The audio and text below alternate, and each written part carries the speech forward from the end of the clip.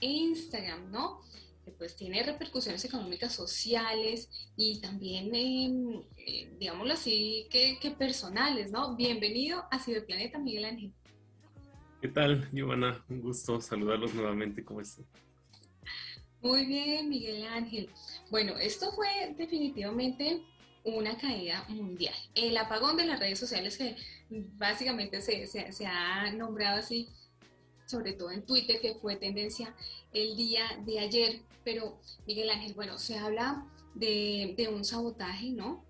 por parte de Anonymous, quien se atribuyó también la caída de las redes sociales, también un error de actualización. Pero, ¿qué tan vulnerable, Miguel Ángel, está la ciberseguridad en las plataformas? Eh, sí, la, la, situación fue bastante grave, eh, en particular, bueno, porque millones de usuarios nos vimos afectados. Eh, ¿Qué tan vulnerable? Bueno, esto nos muestra que hay distintos factores que pueden afectar a, la seguridad de la información. Y digo seguridad de la información porque por definición decimos que se trata de, de preservar tres, tres aspectos, la confidencialidad, la integridad o la disponibilidad de la información, y en este caso también de los servicios. Y obviamente no había disponibilidad de estos servicios, no tuvimos la posibilidad de, utilizar las redes sociales como normalmente lo hacíamos. Y como bien lo mencionabas, hubo grupos que se adjudicaron un ciberataque. La verdad, eh, después de, conforme fue transcurriendo la información, Facebook hizo un pronunciamiento oficial de lo que había sucedido. sucedido se trató de un error en una configuración que permite la comunicación eh, hacia sus servicios, pero independientemente de eso nos damos cuenta que incluso un error en la configuración puede desencadenar un incidente de esta magnitud como la que vimos ayer. Claro que sí, porque también vemos que eh, ahora, ¿no? Ya no solamente digamos como para para el ocio, ¿no? Sino las redes sociales están impresas, impresas definitivamente en, el día a día laboral también de, las empresas. ¿Qué repercusiones, digamos, económicas, eh, digamos, tiene este, este tipo de, situaciones? Sí, la realidad es que el impacto es mucho mayor, como bien lo mencionaba, ya no solamente son cuestiones de entretenimiento, de ocio, sino que incluso este tipo de servicios se utilizan con fines eh, empresariales, comerciales. Obviamente el impacto eh, ya tiene, además, bueno, el impacto económico que representó para Facebook, por supuesto que también para otras empresas que hacen uso de estos servicios, como el caso de WhatsApp Business, por ejemplo, em, algunas otras formas de mercadeo, en fin, hay distintos servicios que son, que ahora ya se basan en las redes sociales para funcionar y bueno, cuando hablamos de la indisponibilidad de este tipo de herramientas, pues vemos que las consecuencias son, son cada vez mayores. De hecho, em, seguramente habrá algunas consecuencias legales, eh, contractuales contra Facebook a partir de, de, lo sucedido el día de ayer. Claro que sí, además que, bueno, no, no sé, digamos, eh, qué tanto también se puede reclamar, ¿no? Porque al ser un servicio gratuito, digamos ahí, ¿cómo, ¿cómo podría funcionar, digamos, este tipo de reclamos, Miguel Ángel? Bueno, cuando eh, hablamos de Facebook en particular, al tratarse de la red social, eh, bueno, quizá las consecuencias vayan un poco más hacia el uso. De hecho, ha habido distintas campañas ya en los últimos años en donde se promovía dejar de utilizar estas redes sociales por todas las implicaciones, incluso los escándalos en los que se había estado involucrando. Pero bueno, de manera particular hablábamos de aquellos servicios que son utilizados por las empresas que obviamente tienen eh, algún contrato directamente con esta empresa para poder seguir operando y que, bueno, eh, dependerá de, cómo estén definidos estos contratos. Eh, los acuerdos de niveles de servicio con los que se pretenda operar y bueno, al saber que puede presentarse una falla de este estilo, pues seguramente habría que, eh, seguramente tendrán que replantearse el uso o, utilizar algunas otras alternativas. Y con respecto, digamos, a, a, la seguridad de los usuarios, ¿no? ¿Qué tan vulnerable? Porque, bueno, ellos eh, dicen que quizás no se vieron afectados los datos de los usuarios, pero realmente no se vieron afectados teniendo en cuenta que, realmente estuvieron fuera de línea. Bueno, en este caso eh, habría que hacer la precisión, ¿no? Entendemos a Internet como una red global, eh, pero que a final de cuentas está conformada por otras redes eh, o subredes. Eh, por ejemplo, en el caso de nuestra red hogareña, es una pequeña red que también forma parte de Internet. Hay redes mucho más grandes como las que suelen utilizar las empresas, las universidades, los ISPs, los proveedores de servicios de Internet, que de alguna manera en conjunto forman, forman la red global pero para poder comunicarse utilizan ese tipo de protocolos. Entonces aquí hablábamos justamente de una falla en la configuración que impidió el acceso o la comunicación con las redes y los servicios de Facebook, em, que eh, obviamente lo dejaba indisponible. Entonces, eh, destacaba al principio esta definición porque propiamente no se ve afectada la integridad de los datos o la confidencialidad, sino la disponibilidad. Bueno, ellos hablan de, del DNS, hablemos pedagógicamente realmente qué fue lo que pasó.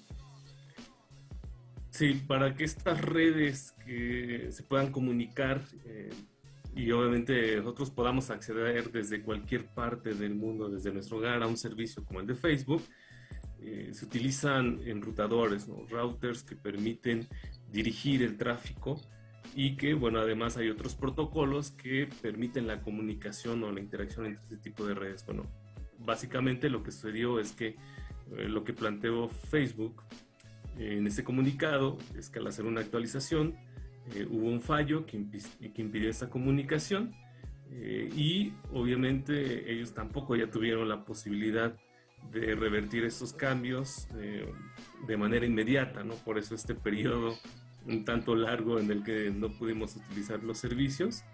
Eh, y bueno, también ocurre, lo mencionabas el caso del DNS, DNS es eh, otra manera en la cual nosotros podemos comunicarnos con los distintos servicios, básicamente es un traductor. Eh, las computadoras se comunican a través de direcciones IP que, bueno, difícilmente nosotros como usuarios podríamos estar memorizando. Entonces, lo que se hace es utilizar un dominio, en este caso Facebook, WhatsApp, etcétera, que se asocia a esa dirección IP. Eh, entonces, nosotros, para nosotros como usuarios es más fácil memorizar el dominio que una dirección. Entonces, este servicio de lo que se encarga es de hacer esa traducción, esa conversión de direcciones IP a dominio para que nosotros podamos comunicarnos. Eh, estos, estos, estos cambios también afectaron a los servidores DNS eh, y bueno, eh, afectando también esta, esta manera de enrutar el tráfico, ¿no? Este famoso protocolo BGP que se estuvo mencionando, el, Border Gateway Protocol, que básicamente lo que hace es buscar las rutas eh, más sencillas o más eficientes para poder dirigir ese tráfico que mencionábamos, ¿no? Cuando un usuario hace una petición desde su celular o desde su computadora, este tipo de servicios buscan una ruta más eficiente para poder Em, conectarse y bueno, al, cambiar esa configuración, al presentarse este fallo, ya no se pudo hacer esa comunicación. Entonces, eh, a grandes rasgos es, básicamente lo que ocurrió, sin entrar en tanto detalle técnico, pero eh, para comprender un poco acerca de, de, por qué ya no pudimos utilizar los servicios. Pero esa es una de las caídas, digamos, que ha tenido más duración, ¿no? Porque realmente fue, fue un poco más de, de seis horas pero cómo también eh, a veces eh, uno se pregunta, ¿no? ¿Cómo los servicios de una compañía que, digamos como que, es de las más grandes, poderosas del mundo, pueda quedar, eh, digamos, inaccesible durante seis horas, ¿sí? realmente podemos ver que Internet es muy frágil. Por la manera en la que se ha constituido, sí. estamos utilizando protocolos que se crearon hace varios años que no consideraron algunos aspectos incluso de seguridad. Sobre estas herramientas se fue montando toda la infraestructura que actualmente conocemos. Y bueno, aquí vemos la fragilidad que puede tener eh, y, también que no importando el tamaño de la empresa, eh, pueden ser susceptibles de este tipo de incidentes. Aquí no hablamos propiamente de un ciberataque, sino de un incidente de seguridad eh, en el cual ya sea por un error humano o quizá alguna actividad deliberada, se puede desencadenar eh, un incidente de esta magnitud, pero eh, sí, nos muestra la fragilidad con la que actualmente está operando y la necesidad de comenzar a mejorar los protocolos o incluso la manera en la que funciona actualmente Internet.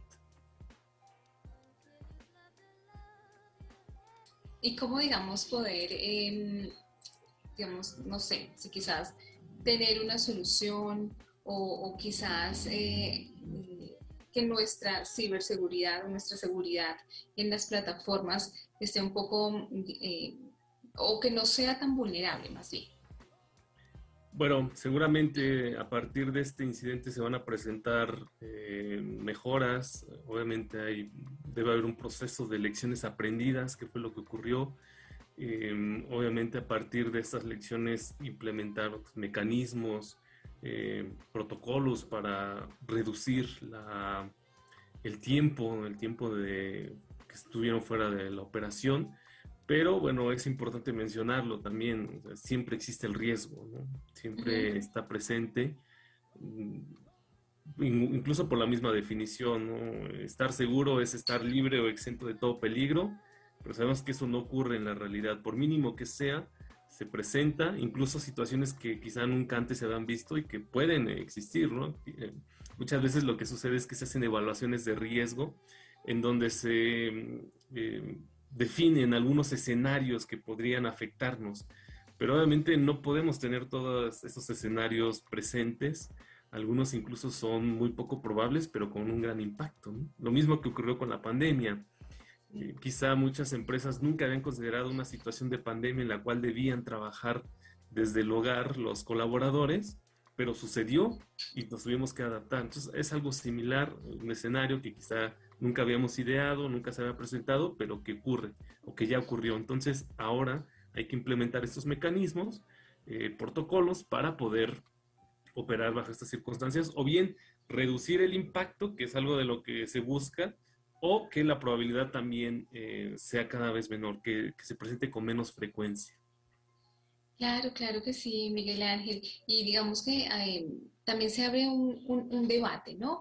Y, desde su punto de vista, cree que es conveniente también que casi todo Internet, ¿no? y por ende también la sociedad, nosotros, pues gire en torno a una única compañía.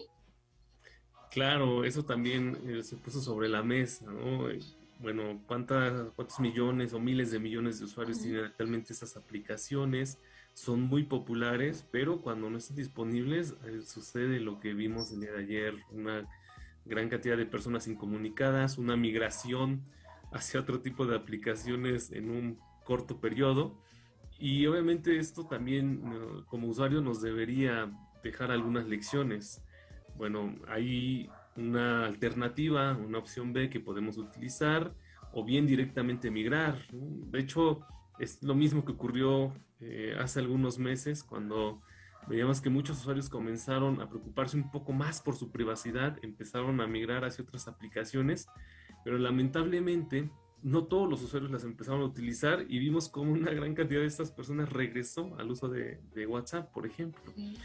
Y, bueno, esto depende, muchos quizá lo hacen por la mm, facilidad de uso, porque ya están acostumbrados a emplear esta aplicación, porque muchos de sus contactos, amigos, familiares lo siguen utilizando pero quizás sí deberíamos replantearnos como usuarios, tener otras opciones, comenzar a empezar a utilizar eh, otras, otras aplicaciones eh, para, bueno, no, no depender de un solo servicio. Claro que sí, definitivamente es necesario no depender de un solo servicio porque, bueno, esta, esta compañía definitivamente tiene WhatsApp, Facebook, Messenger, por supuesto también hay Caló, digámoslo así, y, también Instagram. Así que, bueno, ¿alguna recomendación, alguna sugerencia en cuanto a seguridad en las plataformas? Sí, bueno, como es costumbre, cuando solemos hablar de las redes sociales, es importante que nosotros eh, empecemos a configurar nuestras opciones de privacidad, de seguridad, que ya están incluidas, pero ahora, bueno, dado esto cuando hablábamos de, del acceso a nuestra información, ¿no? a la confidencialidad. Pero ahora vemos que también podríamos padecer la no disponibilidad de estos servicios. Entonces, ahora hay que comenzar a utilizar más aplicaciones que cumplan con estos criterios que nosotros solemos definir como usuarios. Bueno, me preocupa mi privacidad, quizá debería utilizar otra aplicación que sea menos intrusiva. Eh, me preocupa la disponibilidad de la información. Bueno, necesitaría tener aplicaciones alternativas en caso de que se presente un incidente de esta naturaleza. Entonces, vemos que cada vez tenemos más opciones y esto también depende de nuestros criterios como usuarios, ¿no? porque bueno, dadas estas circunstancias, vamos también teniendo lecciones aprendidas para hacer un mejor uso de la tecnología en el futuro. Bueno, por último, Miguel Ángel, quisiera preguntarle, bueno, hay unas declaraciones de Frances eh, Haugen, eh, ella bueno, pues trabajó en, Facebook y bueno, ella, eh, digámoslo así, decía que el algoritmo de la red social pues tiende a, mostrar contenido que incita odio. ¿Qué podemos decir también de esto?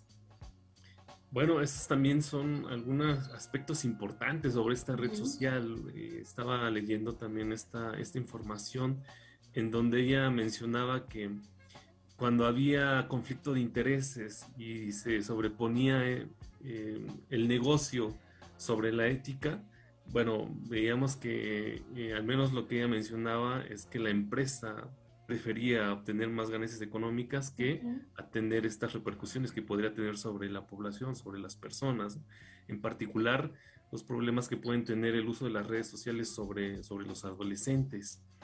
Y bueno, en este caso, bueno, ya también entran en juego otros factores como la ética, eh, como aspectos socio psicológicos, ¿no? socioculturales que podrían afectar a las personas por el uso de este tipo de herramientas y que bueno, si la empresa no se preocupa por sus usuarios, eh, también sería bueno replantearse em, el uso de, las redes sociales. ¿no? Ya se ha hablado en otros espacios sobre las repercusiones que pueden tener sobre las personas, la adicción incluso que podrían generar ya dejando de lado los aspectos de la ciberseguridad, bueno, hay otras cuestiones que también podrían afectarnos.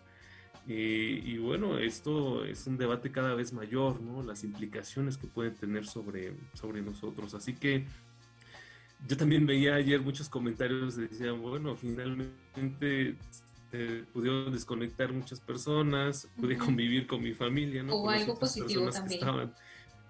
Exactamente. Entonces, eh, incluso hay otras iniciativas importantes como una desintoxicación de las redes sociales, ¿no? Quizá también sea conveniente replantearnos como usuario esa parte que ya queda de lado la seguridad. Es importante, por supuesto, pero vemos que hay otros elementos a considerar muy importantes que también se relacionan con eh, el uso de las redes sociales. ¿no? Bueno, y con todo esto que, ha sucedido, eh, ¿qué podemos, digamos, eh, pensar o decir que, viene para Facebook, ¿no? Viendo las declaraciones de, de Frances eh, Haugen, esta caída a, nivel mundial, y bueno, ¿qué puede venir para Facebook? Bueno, sin duda hubo muchas pérdidas económicas. yo mencionaba que posiblemente también haya algunas repercusiones cuando se trate de contratos con algunas otras organizaciones, pero eh, yo creo que también difícilmente vamos a dejar de utilizar las redes sociales como sociedad. Hay cada vez una mayor dependencia, lo vimos durante la pandemia, una mayor necesidad de conectividad, de mayor acceso a recursos digitales, eh, para todo tipo de actividades, ya sea para entretenimiento, interacción, trabajo, educación, etc. Eh, así que bueno, yo creo que más bien deberíamos plantear nosotros como usuarios estas alternativas que pueden existir para llevar a cabo nuestras actividades, preocuparnos más por nuestras actividades en el ámbito digital, pero sobre todo ocuparnos. Eh, las redes sociales llegaron para quedarse eh, tienen ahora un gran impacto y un gran poder, lo, pudimos observar, pero también, bueno, aquí es una parte importante de lo que nosotros podemos usar o llevar a cabo como usuarios. Eh, lo he dicho también en otras oportunidades, bueno, como usuarios necesitamos ser cada vez más responsables, más conscientes de la manera en la que utilizamos estos recursos y eh, esta, esta parte que destacaba, ¿no? Preocuparnos, pero sobre todo ocuparnos.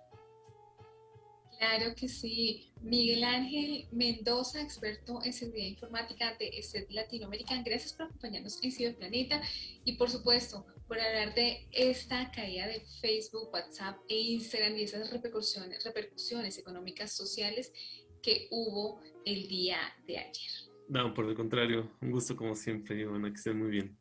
Bueno, una feliz tarde. Julián, ya son las 2 de la tarde, dos minutos. A esta hora, ¿con qué corte musical nos vamos? Porque después de este corte musical necesitamos que se queden ahí muy, pero muy conectados porque tenemos otro gran invitado para hablar del el libro que les había comentado hace un momento. Exactamente, bueno, tenemos grandes invitados eh, el día de hoy aquí en Ciberplaneta y también les comentamos que en ese momento estamos transmitiendo a través de Spaces en Twitter, así que si usted quiere unirse a la conversación, puede solamente unirse a Twitter, seguirnos por supuesto con el arroba la y escuchar, escuchar este gran, estas grandes entrevistas y este gran programa que se llama Ciberplaneta. Pues nos vamos con una canción de Aterciopelados, una canción que también nos va a remontar a ese cuidado ambiental. Esta canción se llama Agüita, de un álbum llamado Río. Son las 2 de la tarde, 3 minutos, estamos al aire en Ciberplaneta.